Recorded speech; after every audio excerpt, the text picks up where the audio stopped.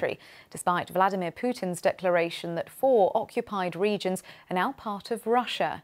In his nightly address, Mr. Zelensky said the path for his nation was difficult but clear, and he was confident of victory. In a signing ceremony at the Kremlin on Friday, Mr. Putin announced that Donetsk, Luhansk, Zaporizhia, and Kherson were being absorbed into Russia. The announcement follows discredited referendums staged by Moscow and enforced by its soldiers. President Zelensky says the Ukrainian army is making significant progress in the east, where the Russian held city of Liman is reported to be almost encircled. He added that his country has also applied to join NATO. Де-факто ми вже пройшли свій шлях в НАТО. De facto, we have already completed our path to NATO. De facto, we have already proven interoperability with the alliance's standards. They are real for Ukraine, real on the battlefield, and in all aspects of our interaction. We trust each other, we help each other, and we protect each other. This is what the alliance is. De facto, today Ukraine is applying to make it de jure, under a procedure consistent with our significance for the protection of our entire community, under an accelerated procedure. We know it's possible. We have seen Finland and Sweden start accession to the alliance this year without a membership action plan. This is fair. This is also fair for Ukraine Справедливо. Справедливо і для України.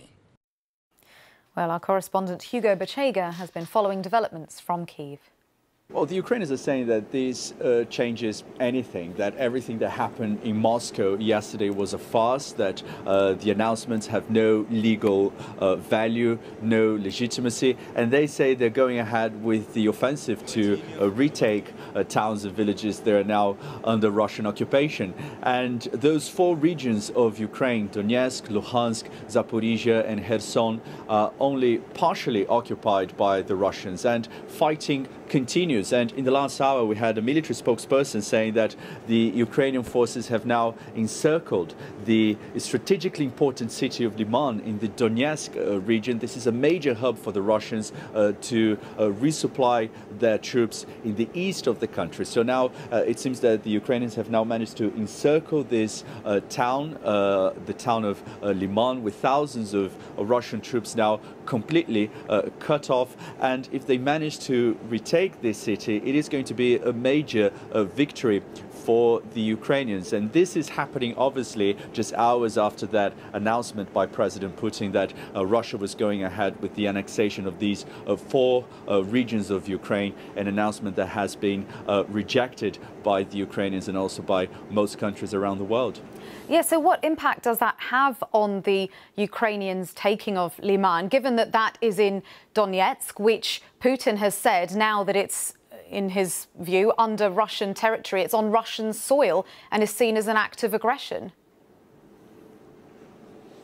Well, the Ukrainians say that nothing really changes. They're going ahead to retake territory that belongs to uh, Ukraine. Uh, and uh, they say that these announcements being made by President Putin are uh, Moscow's reaction to recent uh, military defeats on the battlefield. The Ukrainians feel they've got the momentum. Uh, they're going ahead with this counteroffensive. Fighting is also happening in the Kherson region, another region that has been annexed by Russia, at least in the announcement by President Putin yesterday. I think there is obviously the fear that uh, the announcement uh, could lead to an escalation of tensions. Russia is likely to say that these regions are now part of Russia and that any attack on those areas would be seen as an attack on Russia itself. but the Ukrainians say that these declarations don't have any kind of legal implication. And again, they're going ahead with the offensive to take back territory. And I think they're supported by most countries around the world, the international community. I think countries uh, have rejected uh, the announcements that were made made by President Putin yesterday. More sanctions have been announced,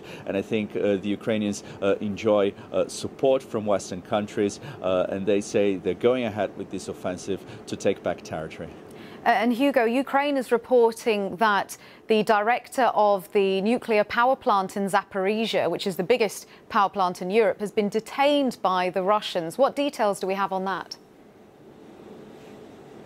So we had a statement this morning from the uh, nuclear operator saying that the head of the Zaporizhia nuclear power plant was detained by Russian forces uh, yesterday afternoon in the city of uh, uh, uh, in the south of the country. Uh, and they say that he was blindfolded and taken to an undisclosed location. They are now appealing to the International Atomic Energy Agency to press the Russians to release him. And for weeks, we talked about tensions around this nuclear facility uh, and uh, fighting around this complex had raised concerns over the safety of this uh, nuclear power station. So now another development in the crisis there with reports that the head of this power station has been detained by Russian forces.